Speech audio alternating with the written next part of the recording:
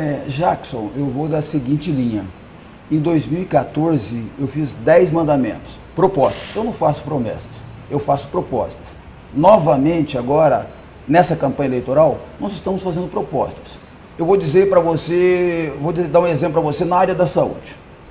É, o candidato que o Sérgio Popular diz que está liderando, ele promete ou ele faz uma proposta de colocar é, médicos 24 horas em todas as unidades de saúde.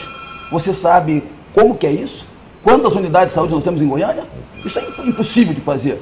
O outro candidato, de senador Canedo, ele promete fazer atingir, é, no primeiro ano de mandato, 80% dos PSFs em funcionamento. Você sabe quantos PSFs que nós temos hoje para que ele consiga fazer com que ele tenha 80%? Hoje nós temos apenas Mas, 65 objetivamente, PSFs. E o que, o que o senhor faz como proposta na, básica? Na, na área da saúde, Jacques, a nossa proposta é dotar todas as unidades de emergência, CAIS, CIAMES e UPAs, de médicos, médicos pediatras e ginecologistas. O que é, nós temos um, é, 15 unidades dessa, 15 vezes, 15 vezes é, 3 são 45 profissionais de emergência. Agora, você falar, fazer uma proposta fantasiosa, mentirosa, isso é vergonhoso.